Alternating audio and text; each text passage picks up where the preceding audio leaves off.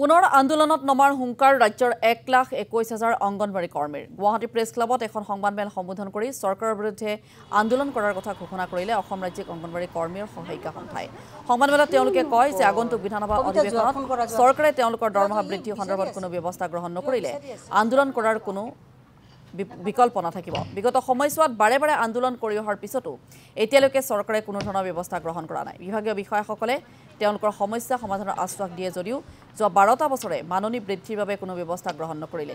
সেয়েহে এতিয়া এক অক্টোবৰৰ পৰা ধাৰাবাহিক আন্দোলনৰ সিদ্ধান্ত লৈছে অংগনবাড়ী কৰ্মী আৰু সহায়িকা সন্থাই। আমাৰ মন্ত্ৰী মহোদয়াক আমাৰ বিভাগক আমি জনাব বিচাৰিছোঁ। এই যেনেকুৱা মূল্যবৃদ্ধি হৈ আছে এই মূল্যবৃদ্ধিৰ সময়ত এই অকণমান মাননিৰে আমি আগবঢ়াত অসুবিধা হৈছে। আজি বাৰ বছৰ অতিক্ৰম হ'ল কেন্দ্ৰীয় চৰকাৰৰ দ্বাৰা পৰিচালিত এই আঁচনিখন সেই বাজেটত আমি হতাশ হৈছোঁ। আমাৰ এই আঁচনিখন ৰূপায়ণৰ ক্ষেত্ৰত যি বাজেট উত্থাপন কৰিলে আমাৰ বাজেটত কোনো অংগনবাদী কৰ্মী সহায়িকাৰ এই অংগনবাদী আঁচনিৰ এই আঁচনি ৰূপায়ণৰ ক্ষেত্ৰত অংগনবাদী কৰ্মী সহায়িকাৰ মাননি বৃদ্ধিৰ ক্ষেত্ৰত কোনো প্ৰস্তাৱ গৃহীত নকৰিলে কোনো উত্থাপন নকৰিলে।